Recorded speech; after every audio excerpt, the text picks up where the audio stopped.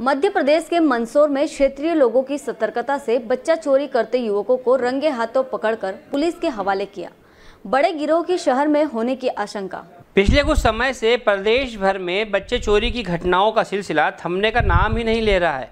गुरुवार सुबह शास्त्री नगर गली नंबर नौ में एक दो वर्षीय बच्चे को घर के बाहर खेलते समय एक अज्ञात युवक उठाकर ले जा रहा था, तभी शंका होने पर लोगों ने पकड़कर नीलगंगा पुलिस के सुपुर्द किया है।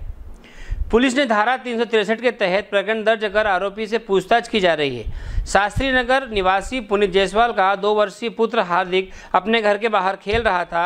इसी दौरान एक अज्ञात युवक ने उसे टॉफी देकर गोदी में उठाया और ले जा रहा था, तभी पुनित जयसवाल की नज़र पड़ी।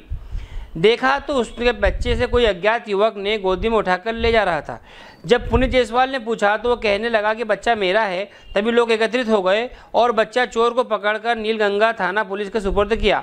उल्लेखनीय है कि हाल ही में जावरा रतलाम शहर में बच्चा चोर गिरोह के दर्जनों महिला पुरुषों को पुलिस ने गिरफ़्तार किया है।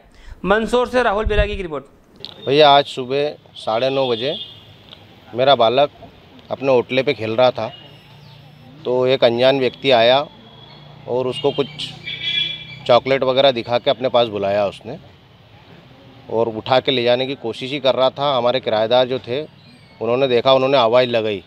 आवाज़ लगाई तो उसने बच्चे को गोद में उठा रखा था मैं नीचे आया। उससे पूछा कि भाई क्या है? तो वो कुछ पहले तो बोला नहीं बाद में बोला कि मेरा बच्चा है ये। फिर उसको पूरा मोहल्ले वालों ने पकड़ के और उसको अभी हम थाने लेके आए नीलंगा थाने उसके खिलाफ हमने कार्रवाई करवाई है। और मैं बच्चे का पिता हूँ दो साल का बालक था। और इस तरीके की घटनाएँ अभी उज्जैन शहर में कुछ ज़्यादा चल रही है तो मेरा पुलिस प्रशासन से अनुरोध है कि इस पर थोड़ी सख्त कार्रवाई करें। और इस घटना? ये शास्त्री नगर गली नंबर नौ की घटना है। क्या नाम है आपके बेटे का? मेरे बेटे का नाम हार्दिक है मैं पुनीत जायसवाल।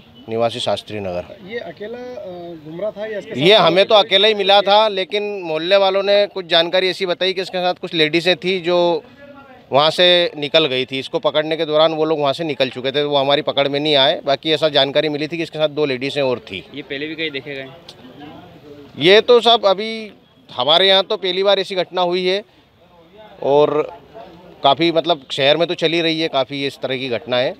तो मेरा यही निवेदन है कि इस पर थोड़ा सा सीरियसली लेके इसको कार्रवाई की जाए क्योंकि आदमी एक पकड़ा गया है तो हो सकता है कि इसके थ्रू पूरे गुरु तक पहुँचा जा सके। और भी आइडिया निकली इसके और इसके पास में जो है फर्जी आइडिया निकली जो कि बाहर की है और वो बच्चों की आइडिया है। बताता है कि मेरे बच्चे हैं ये। घटना है साढ़े नौ बजे करीब पुनीत जायसवाल ये शास्त्री नगर में रहते हैं। ये नहाने गए हुए थे तो वो इनका बच्चा ले जा रहा था एस के किराएदारों ने बताया। तो मौके पे जाके इन्होंने जो आदमी लेके जा रहा था बच्चा, दो साल का बच्चा, उसको पकड़ा, उससे पूछा कि आपसे क्यों ले जा रहे हैं? तो उन्होंने बताया कि मेरे बेटा है। और बाद में जब इन लोगों ने बच्चे ले जाने वाले व्यक्ति को पकड़ लिया जिसने अपना नाम पुरुषोत्तम साहू बताया जिसकी गतिविधियाँ थोड़ी संदिग्ध लगी। साथ में बच्चा ले जा रहा था तो ऑटोमेटिक एक अपराध है ही और इसने अपने आप को कभी एमपी का रहने का बताया, कभी छत्तीसगढ़ का।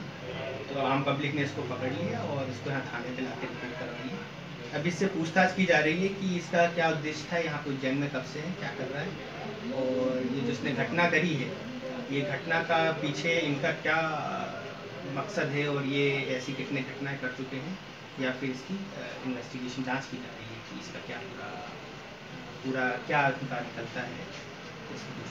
सर, अब एक आईडी मिला है भी आईडी भी पेश किया गया है। जिन जनता ने पकड़ा, इनको आम जनता ने उन्होंने एक आईडी पेश किया जो बता रहे हैं जिनके पास से मिला है बच्ची का। तो वो आंध्र प्रदेश का है। बच्ची का नाम कृष्णा कुछ करकर आंध्र प्रदेश का है। तो वहाँ पर आंध्र प्रदेश से संपर्क किया जा रहा है।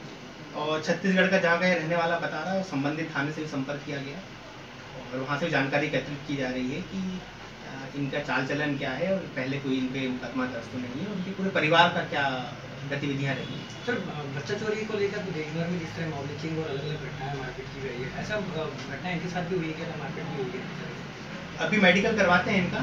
थोड़े बहुत इनको हल्की सी मारपीट की लेकिन कुछ ज़्यादा ऐसी चोट